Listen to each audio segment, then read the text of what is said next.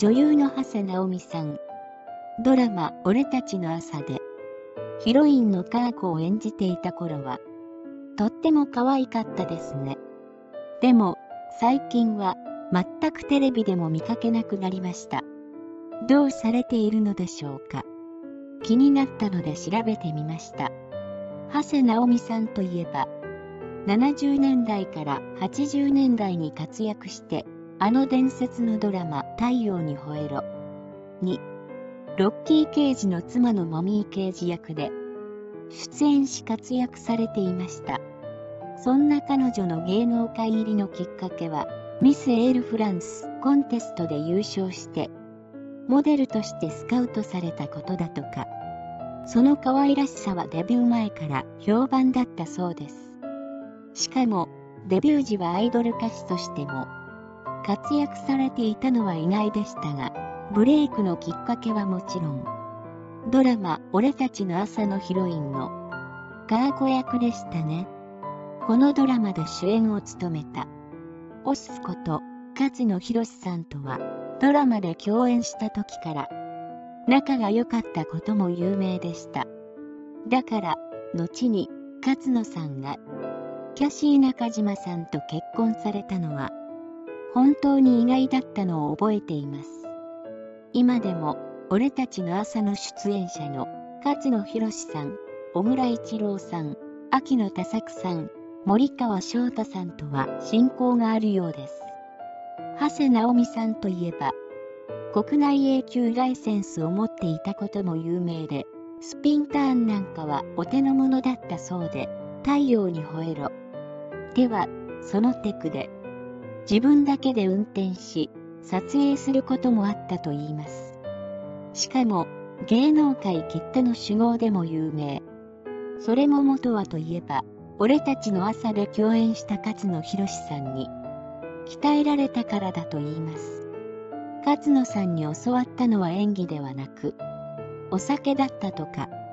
その日の仕事終わりに一升瓶抱えて、キャスト、スタッフを集めて、さあ飲むぞ、とまだ20歳そこそこの長谷さんは、たったの1年で立派な酒飲みになったのだとか、それも無駄ではなかったのかもしれません。お酒が結構飲めて男勝りのドラテクが、功を奏したのか、太陽に吠えろ。でも、石原裕次郎さんに、とても可愛がられたのだとか、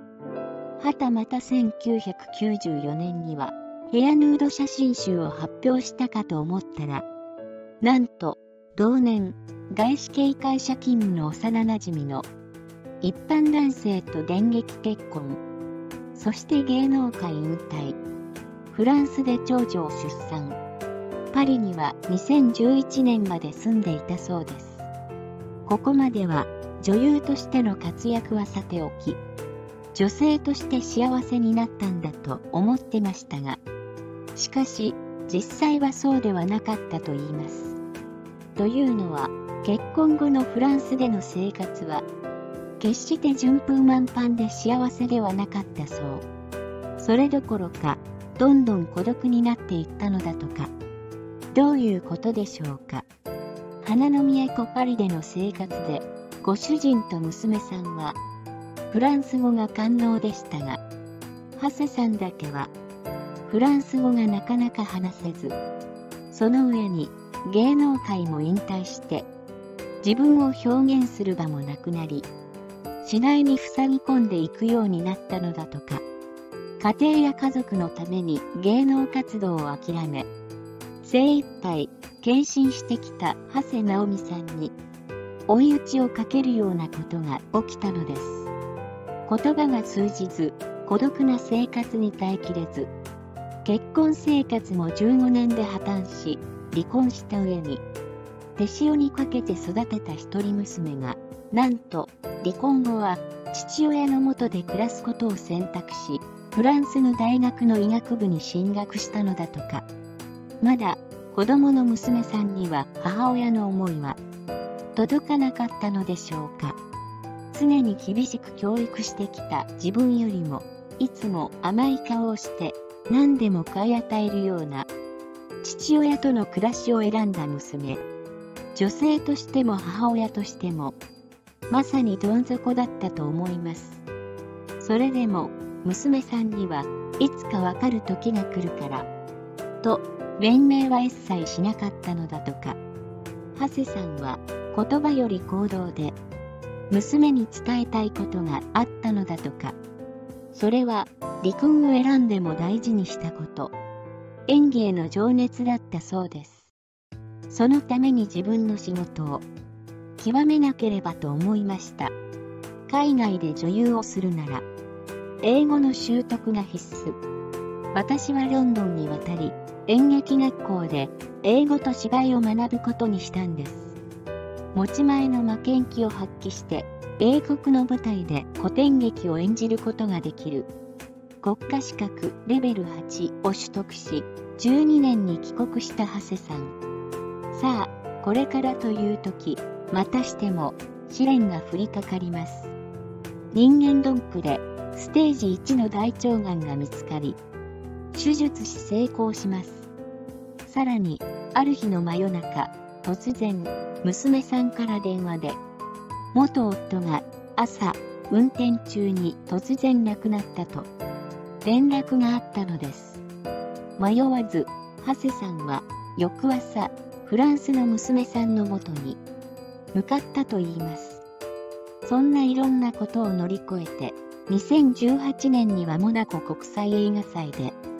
最優秀主演女優賞を獲得し、2019年映画悪い女はよく稼ぐでは、初めての映画での主演を演じた長谷さんを見て、娘さんは初めて、ママ、かっこいい、と言ってくれたのだとか、どれだけ嬉しかったことでしょ